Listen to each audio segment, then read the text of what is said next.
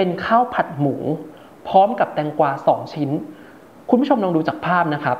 มีหญิงคนหนึ่งเนี่ยซื้อข้าวผัดมาจากร้านค้าแห่งหนึ่งในจังหวัดระนอง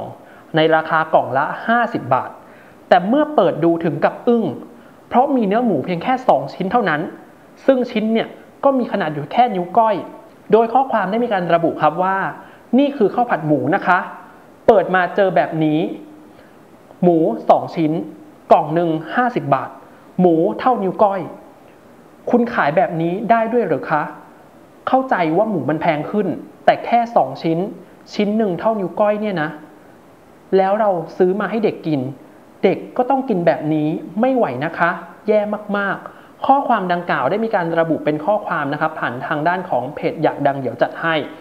โดยเธอได้บอกว่าแม่ค้าเนี่ยคงได้ยินว่าข้าวผัดไข่ของเด็ก พ่อค้าคะ หนูเนี่ยสั่งข้าวผัดสองกล่องนะ กล่องหนึ่งใส่ผัก อีกกล่องหนึ่งไม่ใส่ผัก แต่ราคาเท่ากัน 50 บาท